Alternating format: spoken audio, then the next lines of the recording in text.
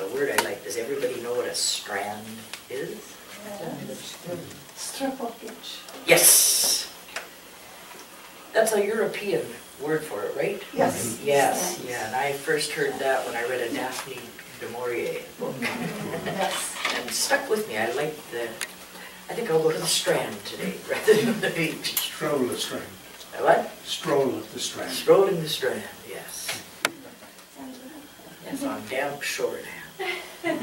Anyway, this one is called the Strand.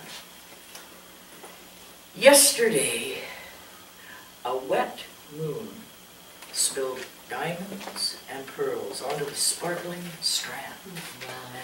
The wind caught our hair and took our breath away when we walked the beach of another place for the last time. Today,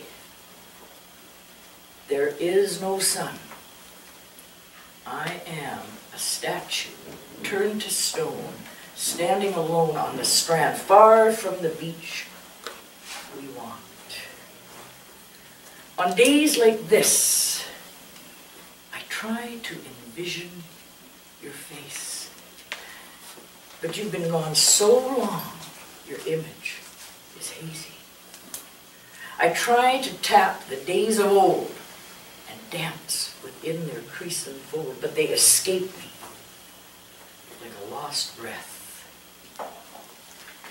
And now the wind-blown days swept away. A brittle silver moon spills rhinestones and zircons onto the shadows on the shore. The day and the strand disappear as if they never were. But I remain a statue on the shore, turned to stone, standing alone.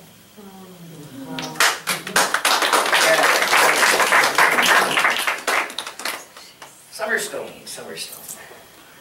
There is no such thing as a summer stone, but for me there is. And it's a nice, white, kind of agate smooth thing you can lay down and go to sleep on. So, this is about a summer stone. Sleeping on a summer stone on a strawberry wine kind of night, I drift on a dream, searching for that stranger who left his mark on my heart. I hear his voice humming familiar melodies.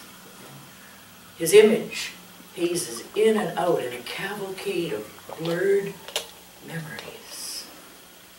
On the river's clear ice blue sheen, smooth like shot silk, his ghost skates by, losing an edge on the wheel of time, falling into my dream of silence.